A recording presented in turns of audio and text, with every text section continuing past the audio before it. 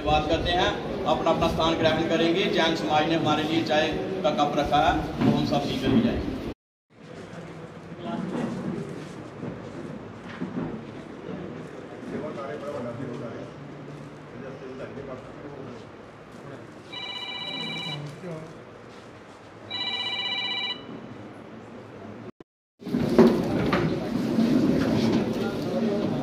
Vice chairman Faridul जी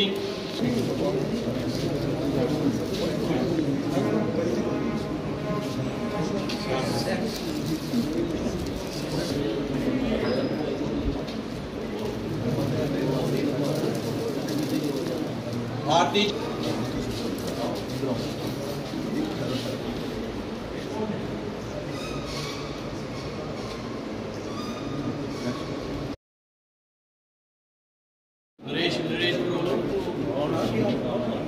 आइयो उसी देना उसी है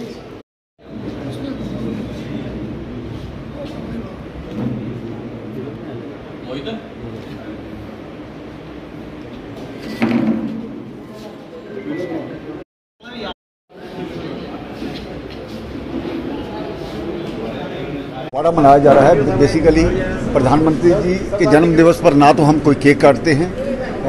इसको सेवा पखवाड़ा के रूप में मनाया जाता है। तो उसी सतारह अक्टूबर से लेकर के कभी खूनदान का प्रोग्राम, कभी पौधारोपण का प्रोग्राम, कभी सफ़ाई के कार्यक्रम, इस तरह से अलग अलग कार्यक्रम किए जा रहे हैं। आज जो हमारे दिव्यांग भाई हैं, जिनको पहले विकलांग कहा जाता था, प्रधानमंत्री जी ने उनको एक नया नाम दिया है और एक सम्मान दिया है। तो मुझे लगता है कि रोज़मर्रा की जो उनकी परेशानियाँ रहती हैं, मैं खुद एक्सीडेंट से जूझ चुका हूँ और मुझे पता है कि क्या क्या दिक्कतें आती हैं।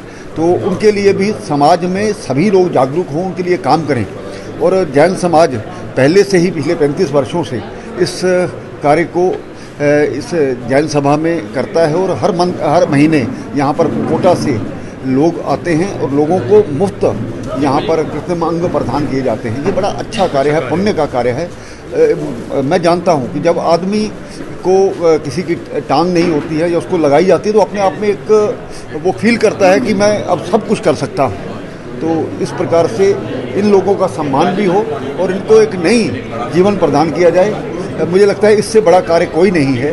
मैं जैन समाज के सभी जो हमारे ऑफ़िस बिरर हैं, उनका भी धन्यवाद करता हूँ, भारतीय जनता पार्टी के कार्यकर्ता। इनको भी कहा गया है कि अपने आसपास रहने वाले लोगों के बारे में इसी तरह की चिंता करें। तो मुझे लगता है कि इस प्रकार के एक दूसरे की चिंता करें तो स्वाभाविक बात है कि देश भी आगे बढ़ेगा, इन लोगों को एक प्रोत्साहन मिलेगा।